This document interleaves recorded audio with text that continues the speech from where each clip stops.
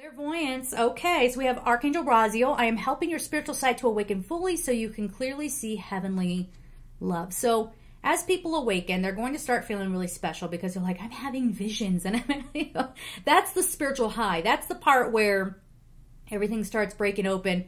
And it's awesome. I say enjoy it, but don't go out there then and start acting like I had a vision and therefore you have to listen to me because my guide said everybody has their own guides, right? I'm always a little like I don't I can't imagine getting on a video and saying my guides say this about you.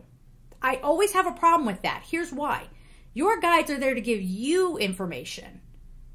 How are you putting that out to the general public? Your spirit guides are not going to give spiritual advice about other people. Not usually, okay? angels are for everybody. Okay?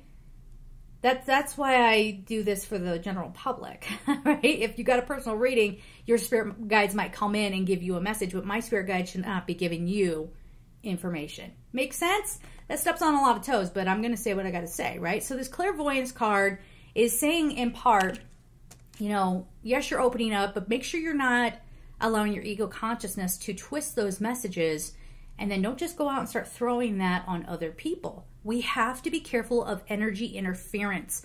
You do that, it's going to slam you. I promise you.